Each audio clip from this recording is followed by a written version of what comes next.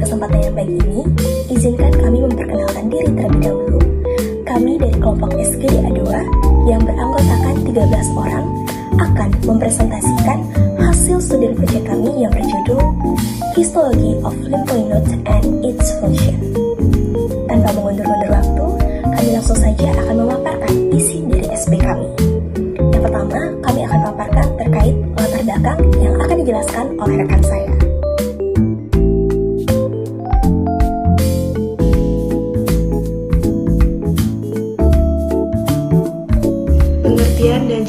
Fungsi dari kelenjar getah bening ini sangat penting untuk dipahami. Maka untuk memberikan pemahaman terhadap latar belakang dan juga untuk menghadapi masalah, penulis mengangkat studi proyek yang berjudul Histologi Kelenjar Getah Bening dan juga fungsinya. Berdasarkan pada judul studi proyek tersebut, penulis dan juga pembaca diyakini dapat memahami lebih dalam mengenai histologi terkhususnya pada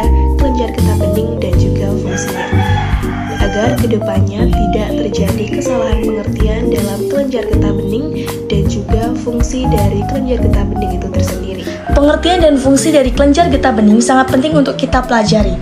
Maka, untuk memberikan pemahaman yang lebih jelas terhadap latar belakang dan juga masalah yang telah kita hadapi, penulis mengangkat student project ini dengan judul Histologi Kelenjar Getah Bening dan Fungsinya. Berlandaskan pada judul student project tersebut, diyakini bahwa pembaca maupun penulis dapat memahami lebih jelas mengenai histologi lebih dalam tentang kelenjar getah bening dan fungsi dari kelenjar getah bening tersebut, agar di masa depan tidak ada lagi kesalahan dalam mengartikan fungsi dari kelenjar getah bening.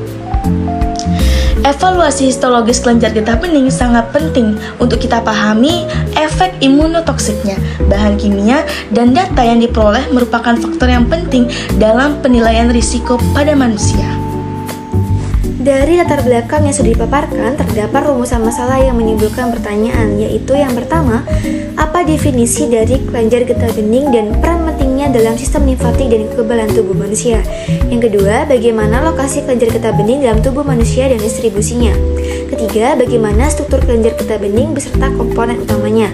Yang keempat, apa fungsi kelenjar getah bening dalam sistem kekebalan tubuh manusia? Lalu terdapat tujuan penulisan, yakni menjawab dari rumusan masalah tadi. Yang pertama, untuk mengetahui definisi dari kelenjar getah bening dan peran pentingnya dalam sistem limfatik dan kekebalan tubuh manusia.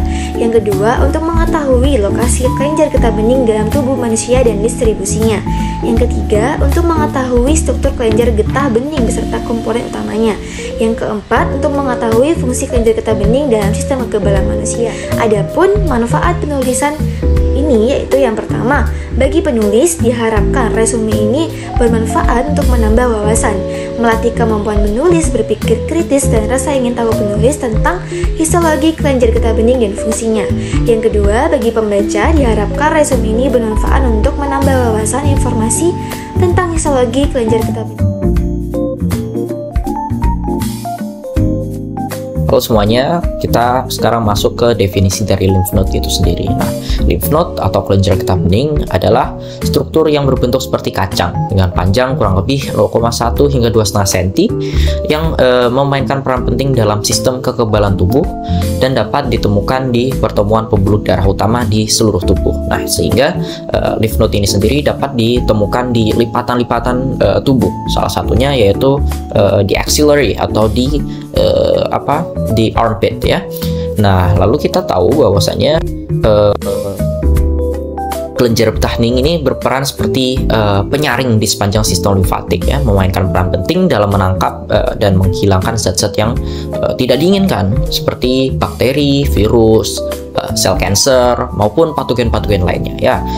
Uh, limfa kita tahu bahwa uh, cairan bening yang beredar melalui arteri dan jaringan tubuh yang membantu membersihkan dan menjaga kesehatan jaringan. Nah, jaringan di jaringan limfoid tersebut terbagi menjadi dua kategori utama, yaitu ada yang uh, limfoid primer seperti sumsum -sum tulang dan timus yang jelas itu merupakan tempat perkembangan limfosit terjadi. Lalu uh, organ limfoid sekunder termasuk uh, kelenjar getah bening tersebut.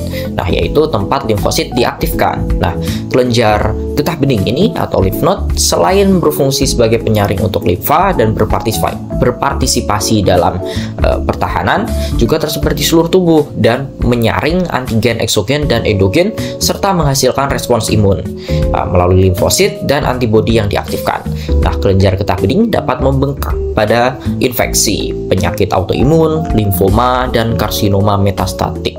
Kurang lebih seperti itu. Sekian dari saya.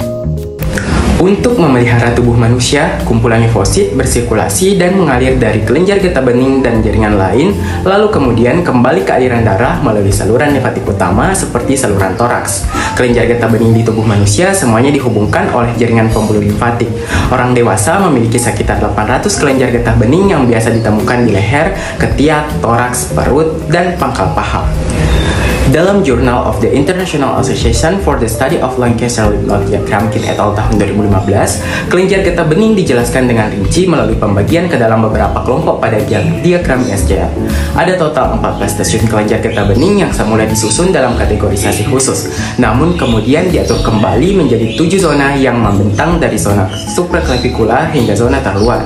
Setiap zona memiliki penjelasan mengenai batas-batas dan posisi relatif kelenjar getah bening dalam kaitannya dengan struktur anatomi tertentu yang penting untuk evaluasi diagnosis klinis terkait kanker paru.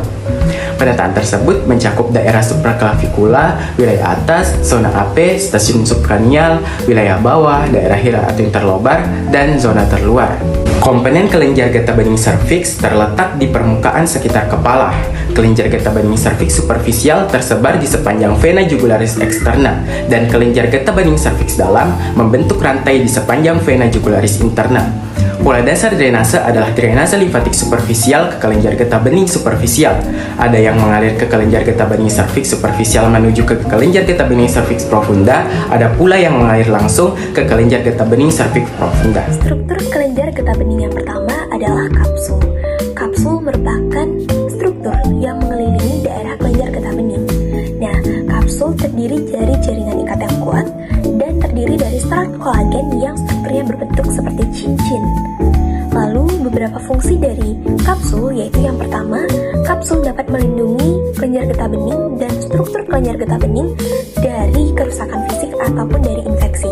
Lalu yang kedua, kapsul membantu membatasi pembesaran kelenjar getah bening seiring bertambahnya ukuran selama respon imunitas tubuh terhadap infeksi ataupun peradangan. Lalu yang ketiga, kapsul juga berperan dalam mengontrol keluar masuknya kelenjar getah bening melalui saluran yang terdapat di dalam kapsul.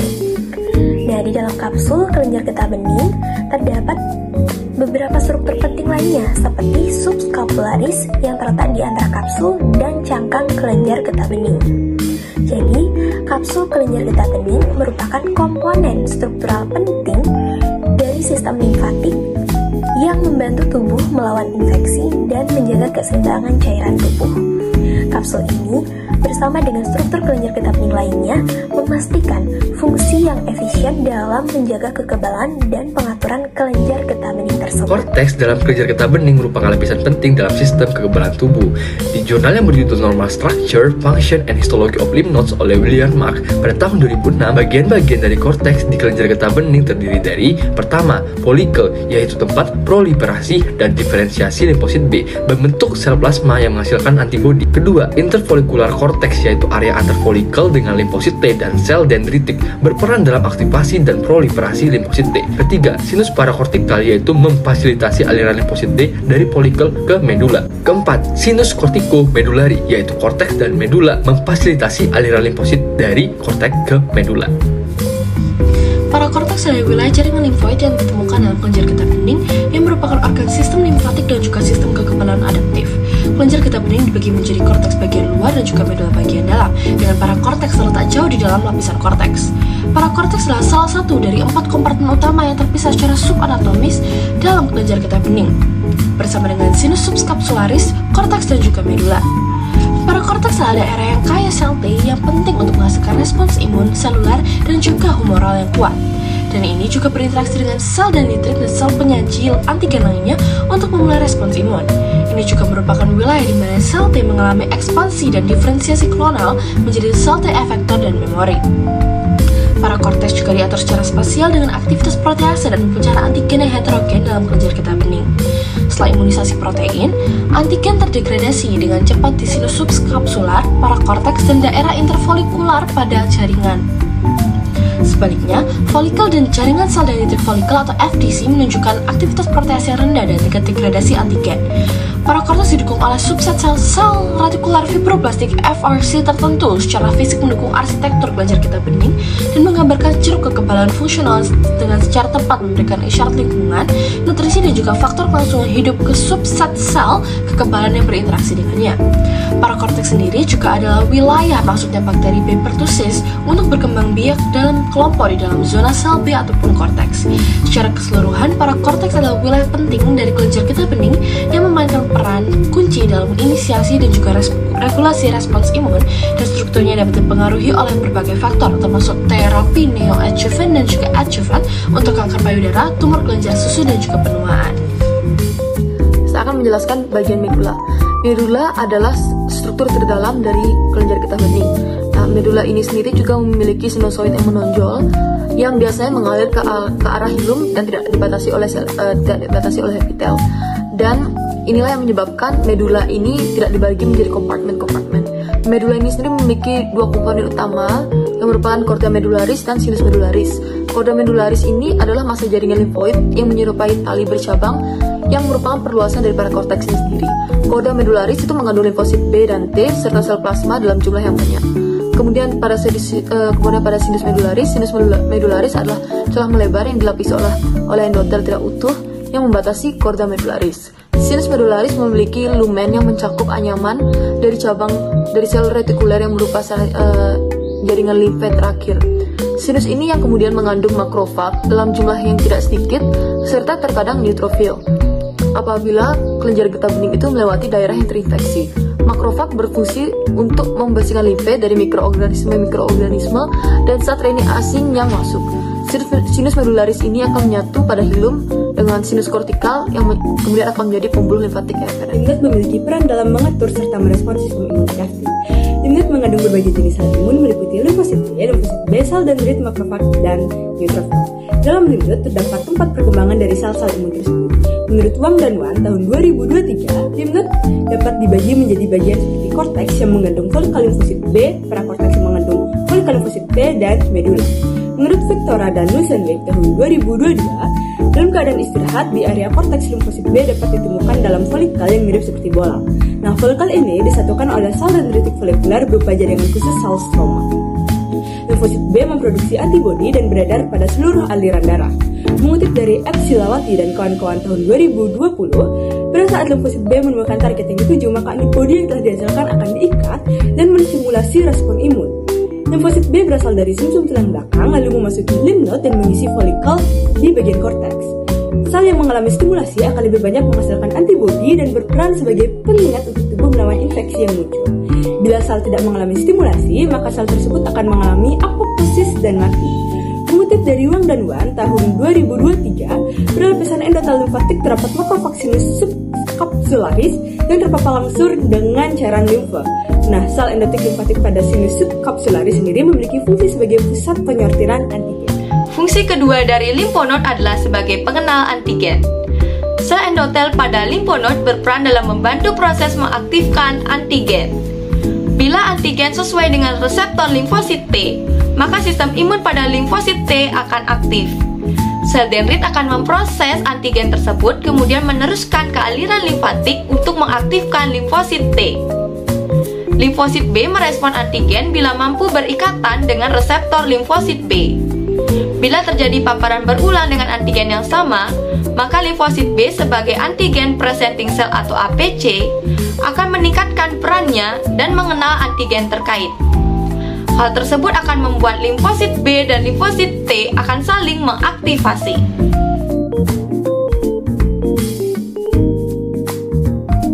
Jadi yang dapat kami simpulkan yaitu yang pertama, kelenjar getah bening adalah organ limfoid terorganisir yang mengandung limfosit dalam jaringan retikuler halus berbentuk kacang dengan panjang berkisar antara 0,1 hingga 2,5 cm, berperan sebagai penyaring tubuh, mencegah masuknya bakteri, virus, parasit, sel kanker, dan benda asing lainnya ke dalam tubuh manusia. Kelenjar getah bening juga merupakan tempat asal produksi limfoid yang penting untuk fungsi fisiologis normal, di mana pemahaman yang mendalam terkait definisi kelenjar getah bening dan peran pentingnya dalam sistem limfatik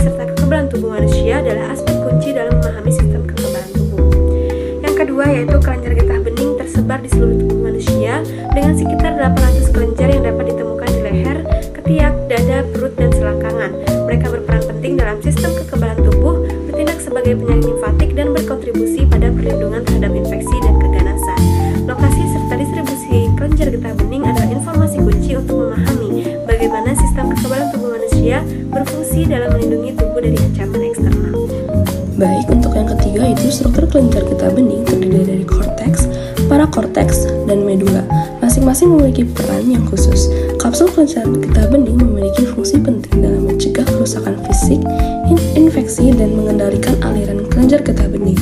Korteks berperan dalam diferensiasi limfosit B dalam respon imun humoral serta menyaring dan menangkap antigen oleh sel dendritik dan makrofag. Parakorteks yang kaya akan limfosit T dan berperan dalam menghasilkan respon imun humoral dan seluler yang kuat dan juga medula mengatur sistem imun adaptif. Yang keempat yaitu kelenjar getah bening memainkan peran sentral dalam sistem kekebalan tubuh manusia. Mereka berkontribusi pada pertahanan tubuh terhadap berbagai patogen dan sel kanker. Pemahaman yang mendalam tentang histologi dan fungsi kelenjar getah bening penting untuk memahami respon imun dan menilai risiko pada manusia dengan lebih baik. Baik, sekian presentasi terkait student project yang sudah kami rancang dari SKD A2. Kami mohon maaf apabila terdapat salah kata dalam presentasi berlangsung. Dan kami tutup dengan Param Santi, Om Santi Santi Santi Om. Assalamualaikum warahmatullahi wabarakatuh. Shalom, nama budaya, salam sejahtera, dan salam sehat bagi kita semua.